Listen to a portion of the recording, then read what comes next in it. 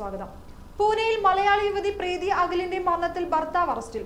യുവതിയുടെ പിതാവ് നൽകിയ പരാതിയുടെ അടിസ്ഥാനത്തിലാണ് അറസ്റ്റ്. പ്രീതി അഖിലിന്റേത് തൂങ്ങി മരണമെന്ന പോസ്റ്റ്മോർട്ടം റിപ്പോർട്ടിൽ തെളിഞ്ഞു. ആന്തരികാവയവങ്ങൾ കൂടുതൽ ശാസ്ത്രീയ പരിശോധനയ്ക്കയക്കും കഴുത്തിൽ കുരുക്കുണ്ടായെന്നും ശ്വാസം മുട്ടിയാണ് മരണം സംഭവിച്ചതെന്നും പോസ്റ്റ്മോർട്ടം റിപ്പോർട്ടിൽ പറയുന്നു.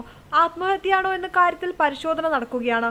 ഭർത്താവിൽ നിന്ന് മുൻപ് നേരിട്ട ശാരീരിക മർദ്ദനങ്ങളും പരിശോധിക്കും. യുവതിക്ക് ഭർത്തൃവീട്ടിൽ മർദ്ദനമടക്കമുള്ള പീഡനങ്ങൾ നേരിടേണ്ടി വന്നതായി ഫോട്ടോകൾ അടക്കം പിതാവ് പോലീസിന് പരാതി നൽകിയിരുന്നു. ഇതിന്റെ അടിസ്ഥാനത്തിലാണ് യുവതിയുടെ ഭർത്താവിനെ അറസ്റ്റ് ചെയ്തത്. ഇയാൾക്കെതിരെ ഗാർഹിക പീഡന കുറ്റമാണ് ചുമത്തിയത്. ഇയാളുടെ മാതാവിനെയും ചോദ്യം ചെയ്യാനായി വിളിപ്പിക്കും. അറസ്റ്റ് ഉണ്ടാകുമെന്നാണ് വിവരം. News desk real news Kerala. വയനാട്ടിൽ ആറ് കിലോ കഞ്ചാവുമായി ഒരാൾ അറസ്റ്റിൽ കണ്ണൂർ കല്ലിക്കണ്ടി സ്വദേശി അഷ്കറിനെയാണ് എക്സൈസ് സംഘം അറസ്റ്റ് ചെയ്തത്. കർണാടകയിൽ നിന്ന് കേരളത്തിലേക്ക് കാറിൽ കടത്തുകയായിരുന്ന കഞ്ചാവാണ് വയനാട് പനമരത്തു നിന്ന് പിടികൂടിയത്. കഞ്ചാവ് കടത്തുന്നുവെന്ന എക്സൈസ് സ്പെഷ്യൽ സ്ക്വാഡിന് ലഭിച്ച രഹസ്യ വിവരത്തിന്റെ അടിസ്ഥാനത്തിലായിരുന്നു പരിശോധന. പിടിയിലായ അഷ്കറിന്റെ വാഹനം ഉപയോഗിച്ച് മുൻപും നിരവധി തവണ ലഹരി കടത്തിയിട്ടുണ്ടെന്ന് എക്സൈസ് സംഘം പറഞ്ഞു. ഇയാളുടെ കാർ കുറച്ചു ദിവസങ്ങളായി എക്സൈസിന്റെ നിരീക്ഷണത്തിലായിരുന്നു. കഴിഞ്ഞ ദിവസം കേരളത്തിൽ നിന്ന് കർണാടകയിലേക്ക് കാർ പോകുകയും ഇന്ന് പുലർച്ചെയോടെ തിരിച്ചെത്തുകയും ചെയ്തതോടെയാണ് എക്സൈസ് സംഘം പരിശോധന നടത്തിയത്. News desk real news Kerala. പുരാവസ്തു തട്ടിപ്പിൽ പിടിയിലായ മോൺസൺ മാവുങ്കലിന്റെ ജാമ്യാപേക്ഷ കോടതി തള്ളി. രണ്ടു കേസുകളിലെ ജാമ്യാപേക്ഷയാണ് കോടതി തള്ളിയത്. സാമ്പത്തിക തട്ടിപ്പ് കേസിലും ഭൂയിടപാട് കേസിലുമാണ് ജാമ്യം തേടിയിരുന്നത്. മോൺസിന് വലിയ സ്വാധീനമുണ്ടെന്നും സാക്ഷികളെ സ്വാധീനിക്കാൻ സാധ്യതയുണ്ടെന്നുമുള്ള പ്രോസിക്യൂഷൻ വാദം അംഗീകരിച്ചാണ് കോടതിയുടെ നടപടി. Ernakulam A C J M കോടതിയുടേതാണ് ഉത്തരവ്. പുരാവസ്തുവിന്റെ മറവിലെ സാമ്പത്തിക തട്ടിപ്പിലും വയനാട്ടിലെ ബീനാച്ചി എസ്റ്റേറ്റ് ഭൂമി തട്ടിപ്പ് കേസിലുമാണ് മോൺസൺ ജാമ്യം തേടിയിരുന്നത്. പുരാവസ്തുക്കളുടെ മറവിൽ സാമ്പത്തിക തട്ടിപ്പ് നടത്തിയിട്ടില്ലെന്നായിരുന്നു മോൺസന്റെ വാദം. എന്നാൽ കരുതിക്കൂട്ടിയുള്ള കോടികളുടെ തട്ടിപ്പാണ് നടന്നതെന്നും മോൺസനെ സഹായിച്ചവരെ കണ്ടെത്താനുള്ള ശ്രമം തുടരുകയാണെന്നും ക്രൈംബ്രാഞ്ച് അറിയിച്ചു. അന്വേഷണം തുടരുന്ന സാഹചര്യത്തിൽ ജാമ്യം നൽകിയാൽ കേസ് അട്ടിമറിക്കപ്പെടുമെന്നായിരുന്നു സർക്കാർ വാദം. ഇത് അംഗീകരിച്ചാണ് ജാമ്യാപേക്ഷകൾ തള്ളിയത്. ഇതിനിടെ ഉന്നതരുടെ പേരുകൾ പറയരുതെന്നാവശ്യപ്പെട്ട് ഭീഷണിയുണ്ടെന്നാരോപിച്ചാണ് പരാതിക്കാർ രംഗത്തെത്തിയത്. ഇത് സംബന്ധിച്ച് പോലീസിൽ പരാതി നൽകിയെങ്കിലും തുടർ നടപടിയുണ്ടായില്ല. ഇതിനിടെ വിവിധ സംഘങ്ങളായി തിരിഞ്ഞ് പ്രത്യേക അന്വേഷണ സംഘത്തിന്റെ തെളിവെടുപ്പ് തുടങ്ങി. കൊച്ചി കലൂരിലുള്ള മോൺസന്റെ മ്യൂസിയത്തിലെ വസ്തുക്കൾ സുരക്ഷിതമായി മറ്റെവിടേക്കെങ്കിലും മാറ്റുന്നതും ആലോചിക്കുന്നുണ്ട്. വ്യാജ ബാങ്ക് രേഖകൾ അടക്കമുണ്ടാക്കാൻ മോൺസനെ ആരൊക്കെ സഹായിച്ചെന്നാണ് പരിശോധിക്കുന്നത്. News desk real news Kerala. Covid നഷ്ടപരിഹാരത്തിന് നടപടി തുടങ്ങിയെന്ന് ആരോഗ്യമന്ത്രി വീണ ജോർജ്. പട്ടികയിൽ ഉൾപ്പെടുത്താത്തവർക്ക് ഓൺലൈനായി അപേക്ഷിക്കാമെന്ന് ആരോഗ്യമന്ത്രി അറിയിച്ചു. അർഹതയുള്ള എല്ലാവർക്കും ആനുകൂല്യം ഉറപ്പാക്കുമെന്നും ഇക്കാര്യത്തിൽ മുപ്പത് ദിവസത്തിനകം തീരുമാനമുണ്ടാകുമെന്നും മന്ത്രി അറിയിച്ചു. ഡാറ്റ ശേഖരണം സത്യസന്ധവും സുതാര്യവുമാണെന്നും ആരോഗ്യമന്ത്രി വ്യക്തമാക്കി. കൂടാതെ സിറോ സർവേ പഠനത്തിന്റെ സമഗ്ര റിപ്പോർട്ട് ഇന്ന് തയ്യാറാകുമെന്നും വീണ ജോർജ് കൂട്ടിച്ചേർത്തു. ഇതിനിടെ സംസ്ഥാനത്തെ കോവിഡ് മരണ പട്ടികയിൽ അപാകതയെന്ന് ആരോപിച്ച് പ്രതിപക്ഷം നിയമസഭയിൽ അടിയന്തര പ്രമേയത്തിന് നോട്ടീസ് നൽകിയിരുന്നു. അർഹതപ്പെട്ടവർക്ക് ആനുകൂല്യം ലഭിക്കുന്നില്ലെന്നാണ് പ്രതിപക്ഷത്തിന്റെ ആരോപണം. സഭ നിർത്തിവെച്ച് വിഷയം ചർച്ച ചെയ്യണമെന്ന് പ്രതിപക്ഷം ആവശ്യപ്പെട്ടിരുന്നു. എന്നാൽ അടിയന്തര പ്രമേയത്തിന് അവതരണാനുമതി നിഷേധിച്ചു. അതേസമയം പട്ടികയിലില്ലാത്ത മരണങ്ങൾ ഉൾപ്പെടുത്താൻ പോർട്ടൽ തുടങ്ങിയെന്ന് ആരോഗ്യമന്ത്രി വീണ ജോർജ് നിയമസഭയിൽ മറുപടി നൽകിയിരുന്നു. മുപ്പത് ദിവസത്തിനകമുള്ള മരണം കോവിഡ് മരണമായി കണക്കാക്കുമെന്നും കേന്ദ്ര നിർദ്ദേശം വന്ന ഉടൻ നഷ്ടപരിഹാരം നൽകുന്നതിന് നടപടി തുടങ്ങിയെന്നും ആരോഗ്യമന്ത്രി വ്യക്തമാക്കിയിരുന്നു. കൂടാതെ പരാതി പരിഹരിക്കുന്നതിന് ജില്ലാ തലത്തിൽ സമിതിയെ നിയോഗിച്ചെന്ന് പറഞ്ഞ ആരോഗ്യമന്ത്രി മികച്ച രീതിയിൽ കോവിഡ് പ്രതിരോധന പ്രവർത്തനങ്ങൾ നടത്തിയത് കേരളമാണെന്നും കൂട്ടിച്ചേർത്തു. ഓക്സിജൻ ലഭിക്കാതെ ഒരാൾ പോലും മരിച്ചിട്ടില്ല.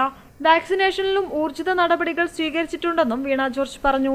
News desk real news Kerala. വിദേശ മദ്യ ഇനങ്ങൾക്ക് ഓൺലൈൻ ബുക്കിംഗ് സംവിധാനം ഏർപ്പെടുത്തുന്നു. കൺസ്യൂമർ ഫെഡിന്റെ എല്ലാ ഷോപ്പുകളിലും വിദേശ മദ്യ ഇനങ്ങൾ ഇനി മുതൽ ഓൺലൈനായി ബുക്ക് ചെയ്യാം. ഇതോടെ കൺസ്യൂമർ ഫെഡ് ഔട്ട്ലെറ്റുകളിൽ ഇനി ക്യൂ നിൽക്കേണ്ട ആവശ്യമില്ലെന്ന് അധികൃതർ അറിയിച്ചു. കോവിഡ് സാഹചര്യത്തിലെ തിരക്കൊഴിവാക്കാനാണ് നടപടി. ബുക്കിംഗിന് അധിക ചാർജും നൽകേണ്ടതില്ല. ഓൺലൈനായി ബുക്ക് ചെയ്യുന്നതോടെ സമയമനുസരിച്ച് ഉപഭോക്താവിന് മൊബൈൽ ഫോണിലേക്ക് ഒ നമ്പർ കിട്ടും. നമ്പർ ലഭിച്ചാൽ പാർസലായി മദ്യം ലഭ്യമാകും. ക്യൂ നിൽക്കേണ്ടതില്ലെന്നും നിലവിൽ ഹോം ഡെലിവറി സംവിധാനമില്ലെന്നും ഷോപ്പുകളിലേക്ക് നേരിട്ടെത്തണമെന്നും അധികൃതർ പറഞ്ഞു. F L dot consumer fed dot in എന്ന വെബ്സൈറ്റിലാണ് ഉപഭോക്താക്കൾ മദ്യം ബുക്ക് ചെയ്യേണ്ടത്. മദ്യത്തിന്റെ ബ്രാൻഡും ഉപഭോക്താവിന് ഇരുപത്തിമൂന്ന് വയസ്സ് കഴിഞ്ഞതായുള്ള സത്യവാൻമൂലവും നിർബന്ധമായും രേഖപ്പെടുത്തണമെന്നും കൺസ്യൂമർ ഫെഡ് അറിയിച്ചു. കൺസ്യൂമർ ഫെഡിന്റെ എല്ലാ ഔട്ട്ലെറ്റുകളിലും ഈ സംവിധാനം പ്രയോജനപ്പെടുത്താം. News desk real news Kerala. Lakhimpur ഗേരിയിൽ കർഷകരടക്കം ഒൻപത് പേർ കൊല്ലപ്പെട്ട സംഭവത്തിൽ കേന്ദ്രമന്ത്രി അജയ് മിശ്ര ടേനിയുടെ മകൻ ആശിഷ് മിശ്ര ടേനി ഹാജരായില്ല. ഇന്ന് രാവിലെ പത്തു മണിക്ക് ഹാജരാകാനായിരുന്നു യു പി പോലീസ് നോട്ടീസ് അയച്ചിരുന്നത്. ആശിഷ് മിശ്ര ഒളിവിലാണെന്ന അഭ്യൂഹങ്ങളും ഇതിനിടെ പുറത്തുവരുന്നുണ്ട് അതേസമയം ആശിഷിനെ സംരക്ഷിക്കാൻ യു പി പോലീസ് സർക്കാർ ശ്രമിക്കുന്നുവെന്ന് സംയുക്ത കിസാൻ മോർച്ച ആരോപിച്ചു. ചോദ്യം ചെയ്യലിന് ഹാജരാകണമെന്ന് കാട്ടി അജയ് കുമാർ മിശ്രയുടെ വീടിനു പുറത്തും നോട്ടീസ് പതിച്ചിരുന്നു. കേന്ദ്രമന്ത്രി അജയ് മിശ്രയുടെ ലഗിംഗ്പൂർ സന്ദർശനത്തിൽ പ്രതിഷേധിക്കാനെത്തിയ കർഷകരുടെ നേർക്ക് മകൻ ആശിഷ് മിശ്ര വാഹനം ഓടിച്ചു കയറ്റിയതാണ് കേസ്. ഇതിന്റെ ദൃശ്യങ്ങൾ പുറത്തു വന്നതോടെയാണ് കേന്ദ്രമന്ത്രിയുടെ മകനെ പോലീസ് ചോദ്യം ചെയ്യാൻ ഒരുങ്ങുന്നത്. സംഭവത്തിൽ നാല് കർഷകർ ഉൾപ്പെടെ ഒൻപത് പേർക്കാണ് ജീവൻ നഷ്ടമായത്. ആശിഷ് അടക്കമുള്ള കുറ്റവാളികൾക്ക് ഉചിതമായ ശിക്ഷ ലഭിക്കണമെന്ന് കൊല്ലപ്പെട്ട കർഷകൻ ലവ്പ്രീത് സിംഗിന്റെ കുടുംബം ആവശ്യപ്പെട്ടിരുന്നു. News desk real news Kerala.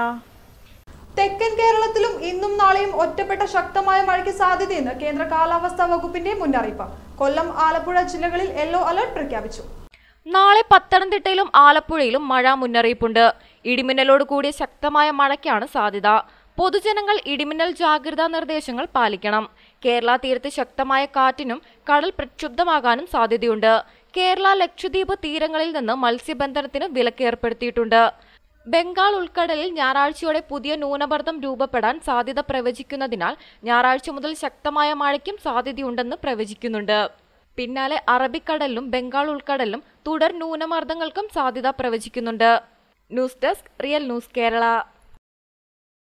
ഇന്ധനവിലയിൽ record കുതിപ്പ് തുടരുന്നു. പെട്രോൾ വില ലിറ്ററിന് മുപ്പത് പൈസയും ഡീസലിന് വില ലിറ്ററിന് മുപ്പത്തേഴ് പൈസയുമാണ് ഇന്ന് കൂടിയത്. ഇതോടെ കൊച്ചിയിൽ ഇന്ന് പെട്രോൾ ലിറ്ററിന് നൂറ്റിമൂന്ന് രൂപ എൺപത്തഞ്ച് പൈസയും ഡീസലിന് തൊണ്ണൂറ്റേഴ് രൂപ ഇരുപത്തിയേഴ് പൈസയുമായി. തിരുവനന്തപുരത്ത് പെട്രോളിന് നൂറ്റഞ്ച് രൂപ എഴുപത്തെട്ട് പൈസയായി. ഡീസലിന് തൊണ്ണൂറ്റൊൻപത് രൂപ പത്ത് പൈസയുമായി. അന്താരാഷ്ട്ര വിപണിയിൽ ബ്രൻ ക്രൂഡിന്റെ വില കുതിച്ചുയരുന്ന സാഹചര്യത്തിലാണ് തുടർച്ചയായി ഇന്ത്യൻ വിപണിയിൽ ഇന്ധനത്തിന്റെ വില കൂടുന്നത്. ബ്രൻ ക്രൂഡ് ഓയിലിന്റെ വില ബാരലിന് എൺപത്തിമൂന്ന് ദശാംശം നാല് ഏഴ് ഡോളറായി ഉയർന്നിട്ടുണ്ട്. മൂന്ന് വർഷത്തിനിടെ ഉണ്ടായ വലിയ വർധനവാണിത്. വരും ദിവസങ്ങളിലും ഇന്ധനവിലയിൽ വർധനവുണ്ടാകാനാണ് സാധ്യത. സംസ്ഥാനത്ത് ഇന്ധനവില വർദ്ധിക്കുന്നതിനൊപ്പം പച്ചക്കറികളുടെ വിലയും കുതിച്ചുയരുകയാണ്. News desk real news Kerala.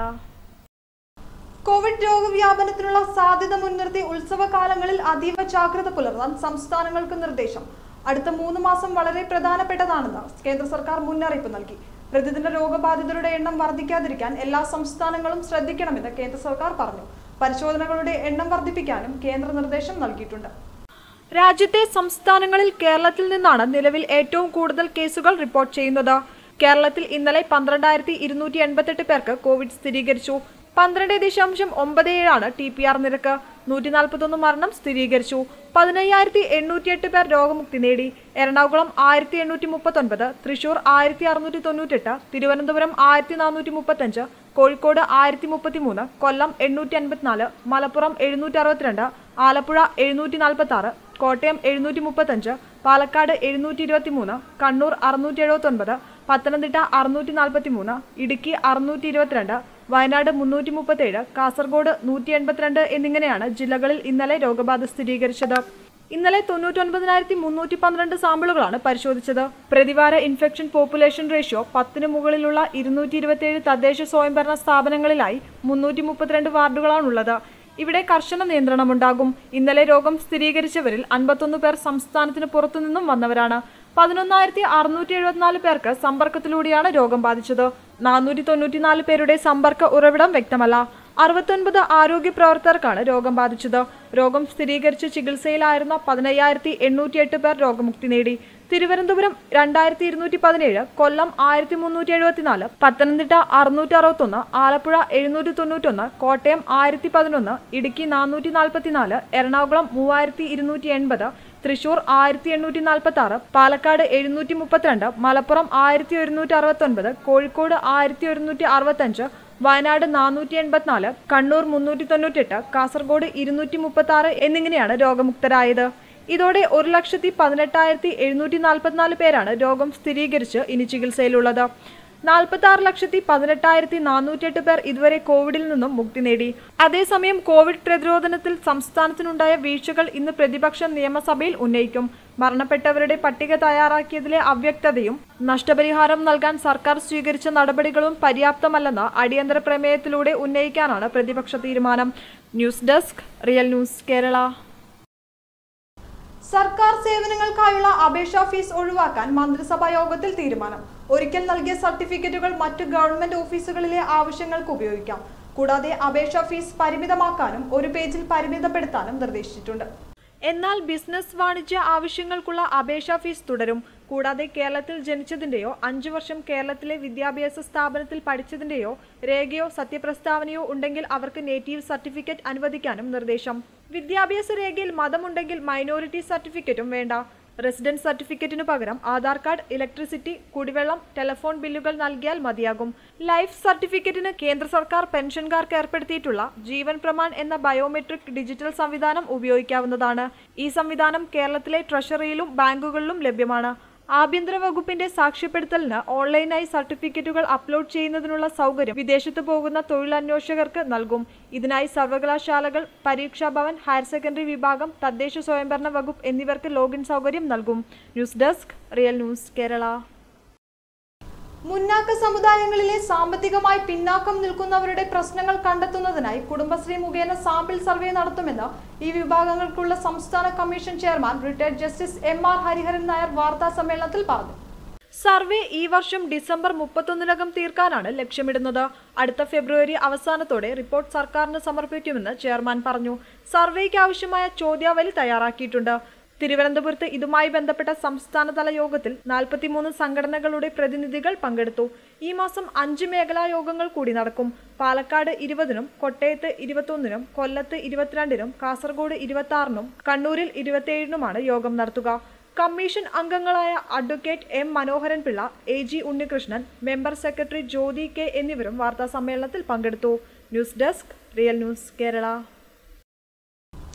Kakkanad ലഹരിമരുന്ന് കേസിൽ പിടികൂടിയത് എം ഡി എം എ അല്ലെന്ന് കെമിക്കൽ പരിശോധനാ റിപ്പോർട്ട്. എം ഡി എം എക്ക് സമാനമായ മെതാഫെറ്റാമിൻ ആണ് പിടികൂടിയതെന്ന് തെളിഞ്ഞു. കാക്കനാട്ടെ സർക്കാർ ലാബിൽ നടത്തിയ പരിശോധനയിലാണ് കണ്ടെത്തൽ. മെത്ത് എന്നറിയപ്പെടുന്ന ലഹരി പാർട്ടികൾക്ക് ഉപയോഗിക്കുന്നതും വീര്യം കൂടിയതുമാണ്. എം ടി എം എ കൈവശം വെച്ചതിന് തുല്യമായ ശിക്ഷ തന്നെയാണ് ഇതിനെന്നും എക്സൈസ് ക്രൈംബ്രാഞ്ച് അറിയിച്ചു. ഓഗസ്റ്റ് മാസത്തിലാണ് കൊച്ചി കാക്കനാട് ഒരു കോടി രൂപയുടെ ലഹരി മരുന്ന് സ്റ്റേറ്റ് എക്സൈസ് എൻഫോഴ്സ്മെന്റും കസ്റ്റംസ് പ്രിവന്റീവ് യൂണിറ്റും സംയുക്തമായി നടത്തിയ പരിശോധനയിൽ പിടിച്ചെടുത്തത്. ചെന്നൈയിൽ നിന്ന് ആഡംബര കാറിൽ രീതിയിൽ വിദേശ ഇനത്തിൽപ്പെട്ട നായ്ക്കളുടെ മറവിൽ ചെക്ക് പോസ്റ്റുകളിലും വാഹന പരിശോധനകളിലും ഉദ്യോഗസ്ഥരെ കബളിപ്പിച്ച് മയക്കുമരുന്ന് എത്തിക്കുന്നതാണ് ഇവരുടെ രീതി. ലഹരി മരുന്ന് കേരളത്തിന്റെ വിവിധ ഇടങ്ങളിൽ വിതരണം ചെയ്യുന്ന വൻ സംഘമാണ് പിടിയിലായത്. ഫ്ളാറ്റിൽ നിന്നും അഞ്ച് പ്രതികളും മയക്കുമരുന്നുകളും ഐ ട്വന്റി കാറും മൂന്ന് വിദേശ നായ്ക്കളെയും അന്വേഷണ സംഘം പിടികൂടി. എറണാകുളത്ത് വിവിധ സ്ഥലങ്ങളിൽ ഫ്ളാറ്റുകൾ വാടകയ്ക്കെടുത്താണ് സംഘം പ്രവർത്തിച്ചിരുന്നത്. കോഴിക്കോട് സ്വദേശികളായ ശ്രീമോൻ മുഹമ്മദ് ഷബാസ് ഷംന കാസർഗോഡ് സ്വദേശികളായ അജു എന്ന അജ്മൽ മുഹമ്മദ് ഫൈസൽ എറണാകുളം സ്വദേശി മുഹമ്മദ് അഫ്സൽ തൈബ എന്നിവരാണ് പിടിയിലായത്. അതേസമയം കാക്കനാട് ലഹരിമരുന്ന് കേസുമായി ബന്ധപ്പെട്ട് ഏറ്റവും ഒടുവിൽ പിടിയിലായ പ്രതി സുസ്മിത ഫിലിപ്പിനെ കോടതി റിമാൻഡ് ചെയ്തു. ഈ മാസം പതിമൂന്ന് വരെയാണ് റിമാൻഡ്. കേസിൽ സുസ്മിത ഫിലിപ്പിനെ കാക്കനാടുള്ള താമസ സ്ഥലത്തും ഇടപ്പള്ളിയിലും എത്തിച്ച് തെളിവെടുപ്പ് നടത്തിയിരുന്നു. കേസിൽ നേരത്തെ അറസ്റ്റിലായ പ്രതികൾക്ക് പണം എത്തിച്ചു നൽകിയിരുന്നത് സുസ്മിതയായിരുന്നു. അതുകൊണ്ട് തന്നെ ഇവരുടെ സാമ്പത്തിക സ്രോതസ്സുകളെക്കുറിച്ചും അന്വേഷിക്കുന്നുണ്ട്. സുസ്മിതയെ ചോദ്യം ചെയ്യുന്നതിലൂടെ കേസിൽ പ്രതികളായ മറ്റ് ചിലരെക്കുറിച്ചുള്ള വിവരങ്ങൾ എക്സൈസ് ക്രൈംബ്രാഞ്ച് സംഘത്തിന് ലഭിച്ചിട്ടുണ്ടെന്നാണ് സൂചന. മയക്കുമരുന്ന് സംഘത്തിലെ ടീച്ചർ എന്നാണ് സുസ്മിത ഫിലിപ്പ് അറിയപ്പെട്ടിരുന്നത്. News desk real news Kerala. Khadi board vice chairman സ്ഥാനം ഏറ്റെടുക്കില്ലെന്ന് ചെറിയാൻ ഫിലിപ്പ്. താൻ ചരിത്ര രചനയിലായതിനാൽ ഇതിനൊപ്പം ഗാദിൽ വിൽപ്പന നടത്തുക ബുദ്ധിമുട്ടാണെന്നും ചെറിയാൻ ഫിലിപ്പ് അറിയിച്ചു. ഗാദി ബോർഡ് വൈസ് ചെയർപേഴ്സണായിരുന്ന ശോഭന ജോർജിന്റെ രാജിയെ തുടർന്ന് കഴിഞ്ഞ ദിവസമാണ് ഈ സ്ഥാനത്തേക്ക് ചെറിയാൻ ഫിലിപ്പിനെ സർക്കാർ തെരഞ്ഞെടുത്തത്. അടിയൊഴുക്കുകൾ എന്ന ആധുനിക രാഷ്ട്രീയ ചരിത്രരചനയിൽ വ്യാപൃതനായതിനാൽ ഗാദി ബോർഡ് വൈസ് ചെയർമാൻ സ്ഥാനം ഏറ്റെടുക്കുന്നില്ലെന്ന് അദ്ദേഹം ഫേസ്ബുക്കിലൂടെ അറിയിച്ചു. നാൽപ്പത് വർഷം മുമ്പ് പ്രസിദ്ധീകരിച്ച കാൽനൂറ്റാണ്ട് എന്ന ഗ്രന്ഥത്തിന്റെ പിന്തുടർച്ചയായ ചരിത്രം എഴുതണമെന്ന ആഗ്രഹമുണ്ടായിരുന്നെങ്കിലും രാഷ്ട്രീയ തിരക്ക് മൂലം സാധിച്ചില്ല. കഥ കവിത എന്നതുപോലെ ചരിത്രം ഭാവനയിൽ രചിക്കാനാവില്ല. വസ്തുതകൾ ശേഖരിക്കുന്നതിനും ക്രോഡീകരിക്കുന്നതിനും വിപുലമായ ഗവേഷണം ആവശ്യമാണ്. രാഷ്ട്രീയ സംഭവവികാസങ്ങൾ അറിയുന്നതിന് പഴയ പത്രത്താളുകൾ പരിശോധിക്കണം. രാഷ്ട്രീയ അണിയറ രഹസ്യങ്ങൾ കണ്ടെത്തണമെങ്കിൽ ഈ കാലഘട്ടത്തിലെ രാഷ്ട്രീയ വ്യക്തിത്വങ്ങൾ മാധ്യമപ്രമുഖർ സാമുദായിക നേതാക്കൾ എന്നിവരുമായി പലവട്ടം കൂടിക്കാഴ്ച വേണ്ടിവരുമെന്നും അദ്ദേഹം കൂട്ടിച്ചേർത്തു. രണ്ടു വർഷത്തെ നിരന്തര പരിശ്രമം അനിവാര്യമാണെന്നും ഖാദി വിൽപ്പനയും ചിത്രരചനയും ഒരുമിച്ച് നടത്താൻ പ്രയാസമാണെന്നും ഫേസ്ബുക്കിലൂടെ ചെറിയാൻ ഫിലിപ്പ് വ്യക്തമാക്കി. കടുത്ത ദാരിദ്ര്യത്തെ അതിജീവിച്ചാണ് കാൾമാർക്സ് തന്റെ സിദ്ധാന്തങ്ങൾ ആവിഷ്കരിച്ചതെന്നും തടവിൽ കിടന്നാണ് ജവഹർലാൽ നെഹ്റു ഇന്ത്യയെ കണ്ടെത്തൽ എന്ന മതഗ്രന്ഥം രചിച്ചതെന്നും ഇതെല്ലാം തനിക്ക് ആത്മവിശ്വാസത്തിനുള്ള പ്രചോദനമാണെന്നും അദ്ദേഹം കൂട്ടിച്ചേർത്തു. News desk real news Kerala. ഭവാനിപൂരിലെ record ഭൂരിപക്ഷം നേടിയുള്ള വിജയത്തിന് ശേഷം പ്രതിപക്ഷ സഖ്യം ലക്ഷ്യമിട്ട് പശ്ചിമ ബംഗാൾ മുഖ്യമന്ത്രി മമതാ ബാനർജി. രണ്ടായിരത്തി ഇരുപത്തിനാലിലെ സംയുക്ത പ്രതിപക്ഷ സഖ്യത്തിന്റെ നേതൃത്വം ലക്ഷ്യമിട്ടാണ് നീക്കങ്ങൾ. മമത വീണ്ടും അടുത്ത മാസം ഡൽഹിയിലെത്തും. പ്രതിപക്ഷ പാർട്ടികളുടെ ഐക്യം ശക്തമാക്കുക എന്ന വിഷയത്തിൽ കോൺഗ്രസ് അച്ചടക്കമുള്ള രാഷ്ട്രീയ പാർട്ടിയുടെ നേതാക്കളുമായും മമത ചർച്ച നടത്തും. കഴിഞ്ഞ ജൂലൈ ഇരുപത്തിയാറിനും മമത ഡൽഹിയിലെത്തിയിരുന്നു. സോണിയാഗാന്ധി അടക്കമുള്ള മുതിർന്ന കോൺഗ്രസ് നേതാക്കളുമായി കൂടിക്കാഴ്ച നടത്തുകയും ചെയ്തിരുന്നു. ഭവാനിപൂരിലെ വിജയത്തിനു ശേഷം കൂടുതൽ ആത്മവിശ്വാസത്തിലാണ് മമത. അൻപത്തെട്ടായിരത്തി മുന്നൂറ്റി അൻപത്തി ഒൻപത് വോട്ടുകൾക്കാണ് മമത ബി ജെ പി സ്ഥാനാർത്ഥിയായ പ്രിയങ്ക ട്രിബേവാളിനെ തോൽപ്പിച്ചത്. ഭവാനിപൂർ മണ്ഡലത്തിലെ ഏറ്റവും ഉയർന്ന ഭൂരിപക്ഷമാണിത്. മെയ്യിൽ നടന്ന നിയമസഭാ തെരഞ്ഞെടുപ്പിൽ സിറ്റിംഗ് മണ്ഡലമായ ഭവാനിപൂർ വിട്ട് നന്ദിഗ്രാമിൽ അഭിമാന പോരാട്ടത്തിനിറങ്ങിയ മമതയ്ക്ക് പരാജയം നേരിടേണ്ടി വന്നിരുന്നു. തൃണമൂൽ കോൺഗ്രസിൽ നിന്ന് ബി ജെ പിയിലെത്തിയ സുവേന്ദു അധികാരിക്കായിരുന്നു ഇവിടെ വിജയം. തുടർന്ന് മുഖ്യമന്ത്രിയായി അധികാരമേറ്റ മമത തൃണമൂൽ കൃഷിമന്ത്രി ശോഭൻ ബേദ് ചതോപാന്തിയെ രാജിവെപ്പിച്ചാണ് ഭവാനിപൂരിൽ മത്സരിച്ചത്. News desk real news Kerala. Lakhimpur Kheri വിഷയത്തിൽ പോലീസിനെതിരെ സമാജ്വാദി പാർട്ടി നേതാവ് അഖിലേഷ് യാദവ്. സല്യൂട്ട് അടിക്കുന്ന പോലീസുകാർ എങ്ങനെ കേന്ദ്രമന്ത്രിയുടെ പങ്ക് പങ്കന്വേഷിക്കും സംഭവത്തിൽ ബി ജെ പിക്കും അജയ് മിശ്ര ടേനിയുടെ മകനും പങ്കുണ്ടെന്ന് അഖിലേഷ് യാദവ് ആരോപിച്ചു. മരിച്ചവരുടെ കുടുംബത്തിന് രണ്ട് കോടി രൂപ നഷ്ടപരിഹാരം നൽകണമെന്നും കൊല്ലപ്പെട്ടവരുടെ ബന്ധുക്കളെ സന്ദർശിച്ച ശേഷം അഖിലേഷ് യാദവ് പ്രതികരിച്ചു. ഒരു പോലീസ് ഉദ്യോഗസ്ഥൻ കേന്ദ്രമന്ത്രിയെ കണ്ടാൽ ആദ്യം സല്യൂട്ട് ചെയ്യും. സല്യൂട്ട് ചെയ്യുന്നവർ മന്ത്രിക്കെതിരായ കേസ് അന്വേഷിക്കുമെന്ന് നിങ്ങൾ കരുതുന്നുണ്ടോ? സംഭവവുമായി ബന്ധപ്പെട്ട വീഡിയോകളും മറ്റും പുറത്തുവിടാതിരിക്കാനാണ് ഇന്റർനെറ്റ് സേവനങ്ങൾ തടസ്സപ്പെടുത്തിയതെന്നും അദ്ദേഹം പറഞ്ഞു. അഖിലേഷ് യാദവ് ഇന്ന് ബഹ്റച്ച് സന്ദർശിച്ചേക്കും. ലഗിംപൂർ ഗേരി സംഭവത്തിൽ നാലു കർഷകർ കൊല്ലപ്പെട്ടതോടെ കർഷക സമരത്തിൽ അടുത്ത ഘട്ടം എങ്ങനെയെന്ന് ചർച്ച ചെയ്യാൻ സംയുക്ത കിസാൻ മോർച്ച ഇന്ന് യോഗം ചേരും. ആശിഷ് മിശ്രയുടെ അറസ്റ്റ് കാത്തിരിക്കുകയാണെന്നും കർഷക സംഘടന പ്രതികരിച്ചു. അതിനിടെ ലെഗിംഗ്പൂരിൽ ഇന്റർനെറ്റ് ബന്ധം പുനഃസ്ഥാപിച്ചു. കർഷകർ മരിച്ച് മണിക്കൂറുകൾക്കകം ഇന്റർനെറ്റ് ബന്ധം വിച്ഛേദിക്കപ്പെടുകയായിരുന്നു. ആശിഷ് മിശ്രയെ യു പോലീസ് ഇന്ന് ചോദ്യം ചെയ്യും. News desk real news Kerala. വാർത്തകൾ അവസാനിക്കുന്നില്ല. കൂടുതൽ വാർത്തകൾക്കും വിശേഷങ്ങൾക്കുമായി ഞങ്ങളുടെ വെബ്സൈറ്റായ W W W dot real news Kerala dot com സന്ദർശിക്കുക. നന്ദി.